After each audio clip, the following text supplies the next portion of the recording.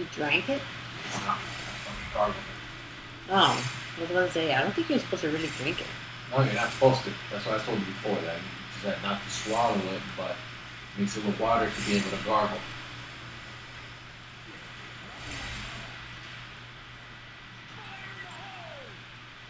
You know what'll work tomorrow? Yeah, I mean, this is not enough to stop me from wanting. As long as I can take apples.